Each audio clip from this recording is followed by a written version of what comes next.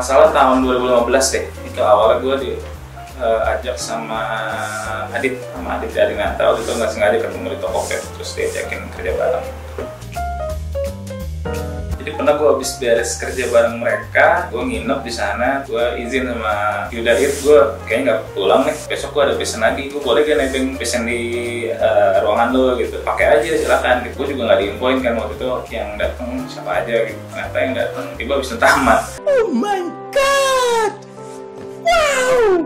waktu itu pada kaget sih orang-orang kayak lah itu ada tamat datang siapa tuh paling helpful sebenarnya semuanya helpful sih. Mungkin kalau paling kocak si Hamam lah ya. Dia kalau kerja bareng dia ada aja sih bercandaannya.